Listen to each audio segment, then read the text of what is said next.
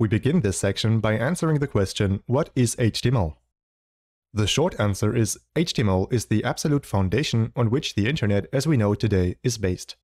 Every web page on the World Wide Web has been developed using HTML, including websites like YouTube, Netflix, and Twitter. Let's take a closer look. What does HTML stand for and what is its role in creating web pages? HTML stands for Hypertext Markup Language.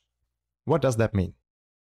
Hypertext is text that links documents on the internet together through hyperlinks. A simple example of this is Wikipedia. When you visit any Wikipedia article, you'll find a lot of hyperlinks that point to other web pages. Therefore, the term hypertext refers to a system of linking documents on the internet together, allowing the user to jump from one document to another. Moving on to the next term, markup language. To illustrate, let's consider a simple sentence. You play the piano?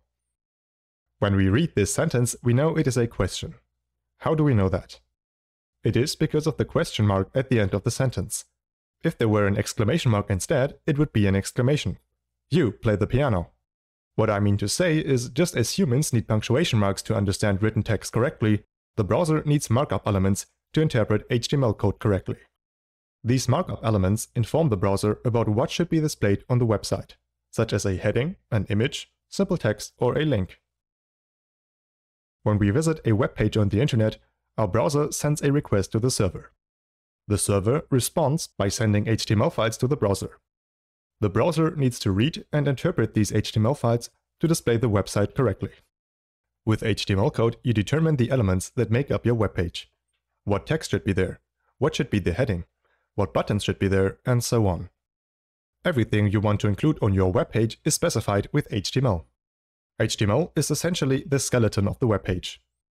As mentioned earlier, HTML documents usually consist of many markup elements, also known as HTML elements.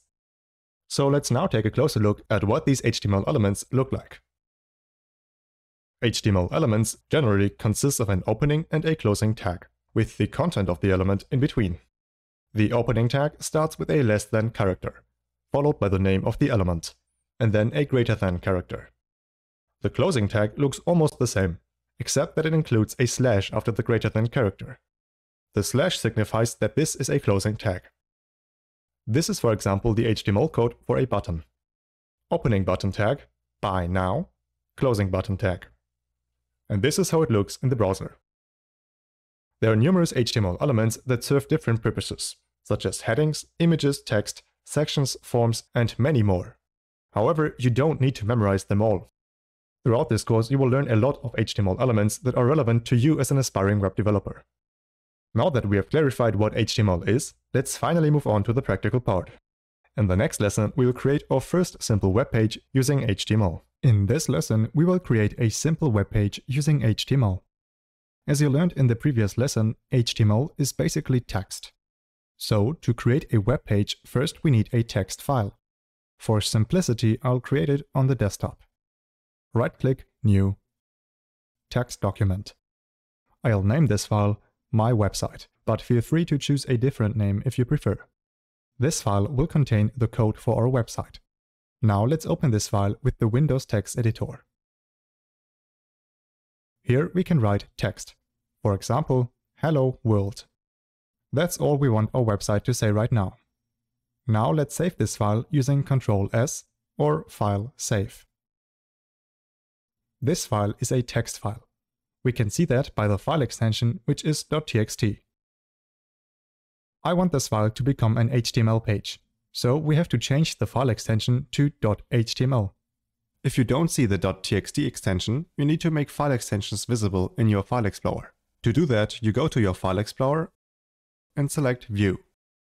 Make sure this checkbox next to File Name Extension is checked. Once you have done that, you should see file extensions for all your files. I recommend keeping this option enabled so you always know the type of file you're working with. Now let's turn our file into an HTML file. For that, we have to rename the file. Right-click, Rename.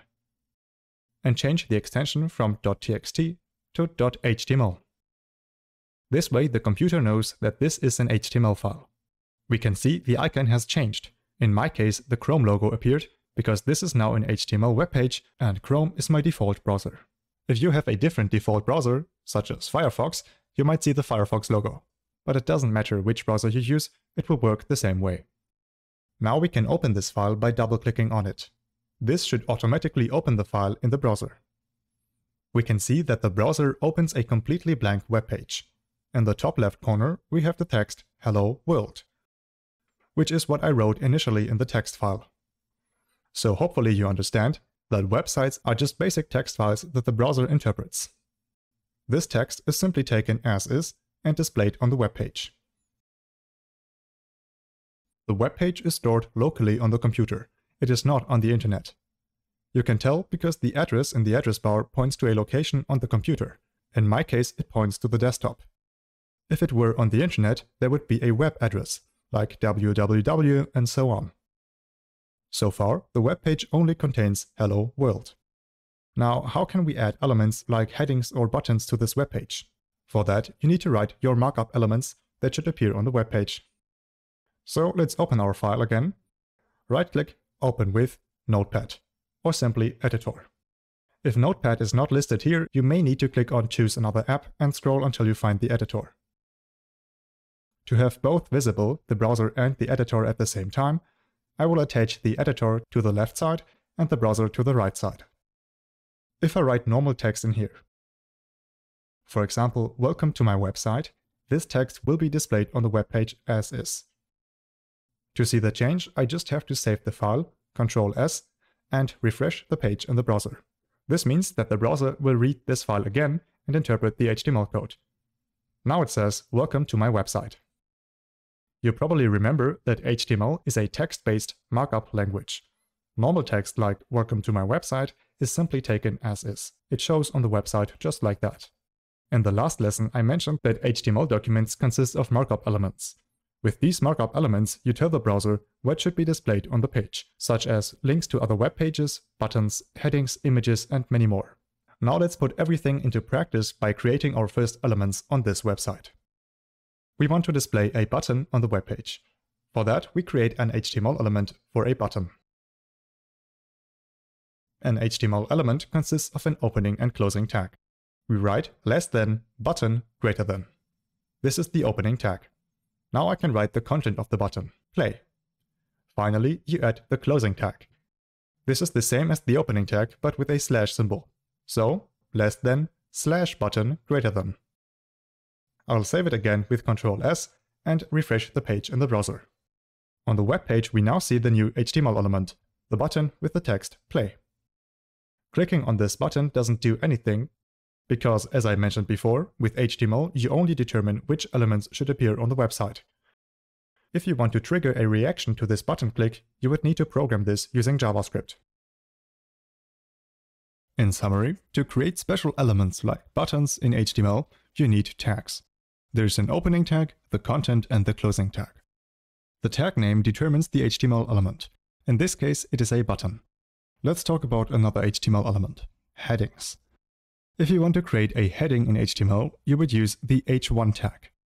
Opening h1 tag, this is a heading, closing h1 tag. Save it and refresh the page. We can see the heading, this is a heading. In HTML, headings follow a ranking order indicated by the number after the H. Here we have an H1 heading, which is the highest and most important heading. But there's also H2, H3, H4, H5 and H6. These headings become progressively smaller. These are considered subheadings.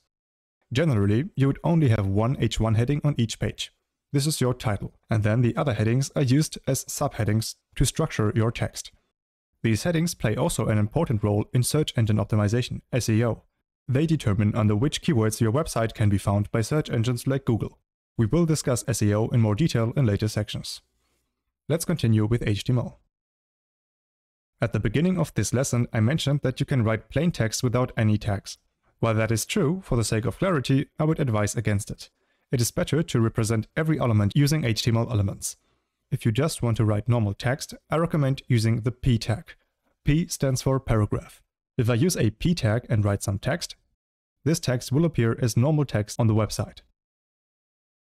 If I create another p tag by copying the previous one, we can see that there is a line break between these two texts, because each of these texts is within its own paragraph. To help you learn how to use these different tags, I have prepared a small exercise. I want you to recreate this web page using the HTML elements that you have learned in this lesson. Try to figure out which HTML elements are used here and write the HTML code for this page. So at this point you should pause the video and try to recreate this web page. The solution code will be shown in 5 seconds.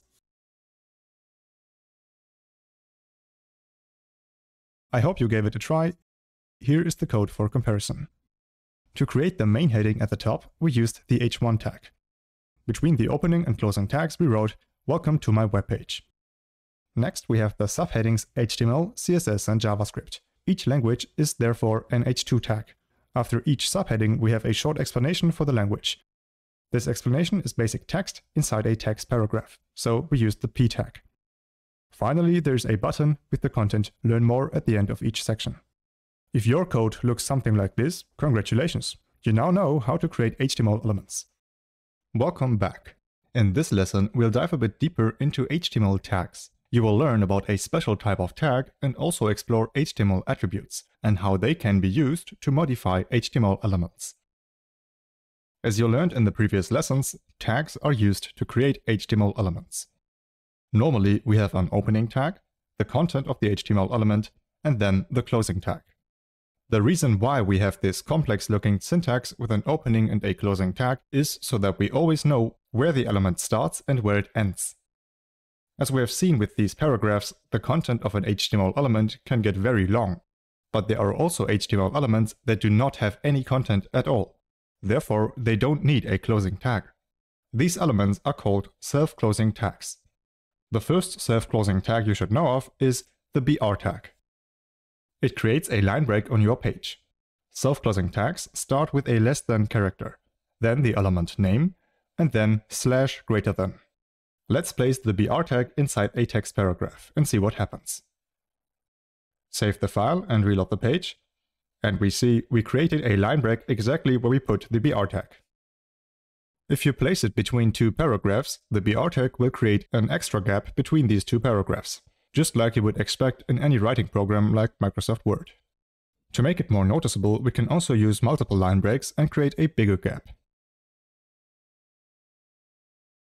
When working with self-closing tags, it is also possible to just leave out the slash and write it like an opening HTML tag.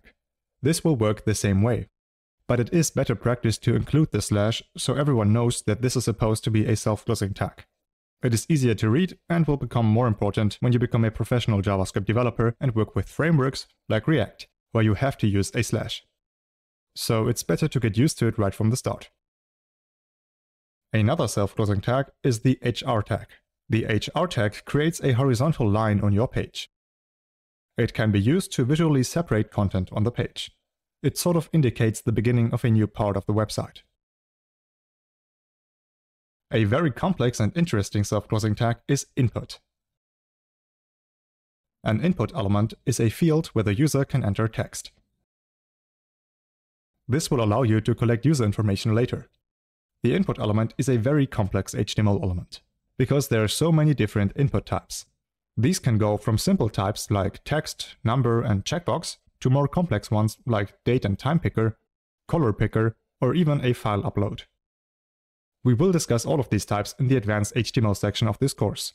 But for now, you should know how to actually change this normal input element to a different kind of input element. This is where HTML attributes come into play.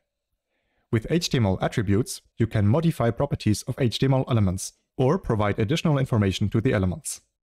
Let's see how this works.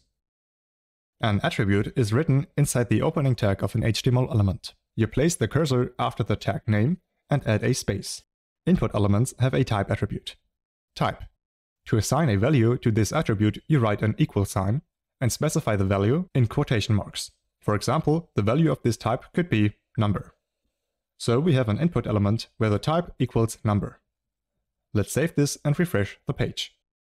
By changing the type to number, we have transformed the input field to a number field. From now on, you can only enter numbers into this input field. If you try to enter text, nothing will happen only numbers are allowed. We also have these arrows to increase and decrease the number. So remember, HTML attributes are used to modify HTML elements. For input fields, there's also the placeholder attribute. It allows you to provide a hint about the purpose of this input field. In this case, we could write, for example, enter your age. Again, we wrote it the same way. First, the attribute name, placeholder, equals, and in quotation marks, enter your age. If we save and refresh, we will see the hint enter your age inside the input field. This is how tags and attributes work. And there you go. You learned the basics of HTML. Now it's time to dive deeper and learn more advanced concepts. Check out the first link in the description to get the full course on Udemy.